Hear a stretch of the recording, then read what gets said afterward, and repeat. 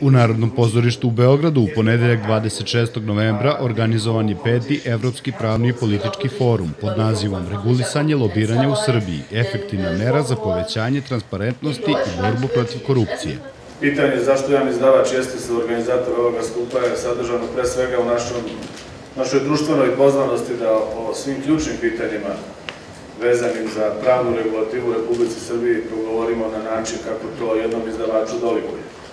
Ovo je samo jedan od aspekata saradnje službenog glasnika sa GIZ-om i sa drugim međunarodnim organizacijama i to službeni glasnik čini najvećim izdavačem u regionu, svakako liderom u objavljivanju pravne i ekonomske literature. Vrlo je bitno i nama je vrlo drago što sarađujemo sa GIZ-om i što izdajemo časopis Izazovi evropske integracija, koji je po mnogo čemu jedinstven, ne samo na prostoru Srbije, nego na prostoru jugoistočne Evrope ili zapadnog Balkana, kako se to danas kaže i bliže definiše.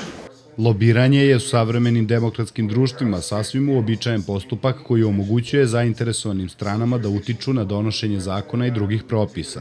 S druge strane, ako taj proces nije valjano regulisan, može postati generator korupcije, ocenili su učesnici foruma.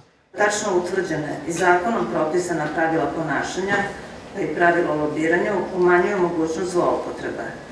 Zato Ministarstvo pravde i državne uprave smatra da će dobro i temeljno pripremljen zakon o lobiranju, pored stvaranja jasnih pravila za razne interesne i druge grupe, biti i jedan od koraka u borbi protiv korupcije koja predstavlja prioritetni zadatak ove vlade. Desan Dežer, šef delegacije EU u Srbiji, istakao je da lobiranje je veoma važna tema kada je reč o neophodnosti balansiranja demokratskog ponašanja i prevencije nelegalnog uticaja i sukoba interesa. Drago mi je, što, drago mi je e, da se ovom e, konvencijom na sveobuhvatan način raspravlja o pitanju koje se već neko e, vreme postavlja u okviru debate u borbi protiv korupcije, kako u Europi, tako i u e, Srbiji i to je pravilno regulisanje e, pojave lobiranja.